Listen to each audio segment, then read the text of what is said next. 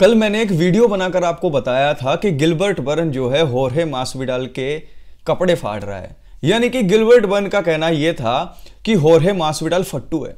सीधा उन्होंने कहा कि वो फट्टू है। मैंने तीन चार बार फाइट जो है, यूएफसी को कहा कि फिक्स करा दो मासविडल के साथ, मैं उसे तीन चार थप्पड़ चट्टू लगाना चाहता हूँ। लेकिन यूएफसी वालों की मजबूरी नहीं समझ पा रहा था। होरहे मासविडल। और होरहे मासविडल का हर बार ये था कि हाँ मैं फाइट करूँगा, लेकिन जब मौका आता था पेपर के ऊपर साइन करने का तो वहाँ पर वो मना कर देता था। और एक साल हो गया होरहे मासविडल को बचते हुए मुझसे। ये कहा था गिलबर्ट बंस ने। तो और मैंने आपको वीडियो बनाकर भी बताया था कि इतनी बेजती होने के बाद होरहे मासविडल कुछ ना कुछ तो कहेगा ही। तो यहाँ पर एक प्रेस कॉन्फ्रेंस की होरहे मासविडल ने। होरहे मासविडल ने सबसे पहले यह कहा कि Gilbert Burn is a little bitch.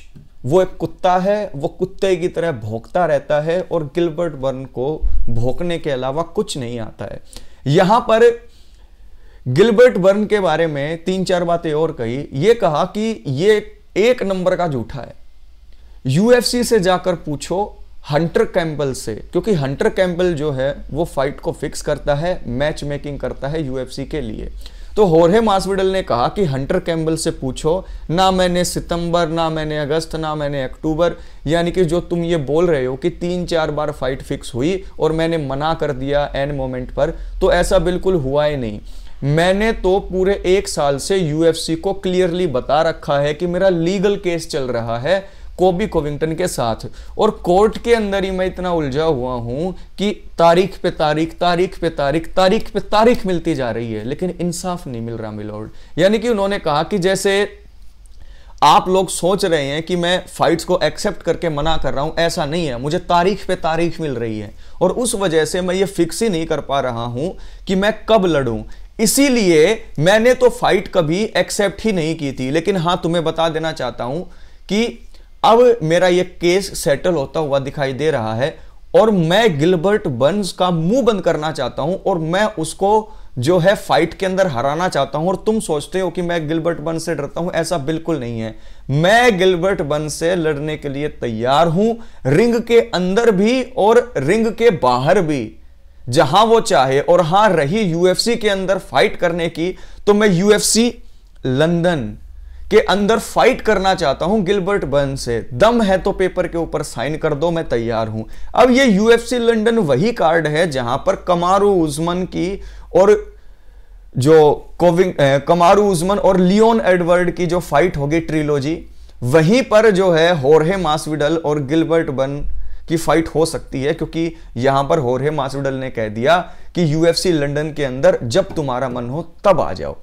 अब यहाँ पर होरहे मासविडल ने साफ़ कर दिया है कि वो गिलबर्ट बर्न से डर नहीं रहा है। एटलीस्ट जिस तरीके से गिलबर्ट बर्न ने जिस तरीके से बेइज्जती की, जिस तरीके से एक्स वाई जेड बातें बोली जो मैंने आपको पिछली वीडियो में बताई भी, उसका रिस्पॉन्स दे दिया है। और यहाँ पर चांस यही बन रहे हैं कि यहाँ पर हमें तीन फाइट यूएफसी लंदन में तगड़े वाली देखने को मिल सकती है।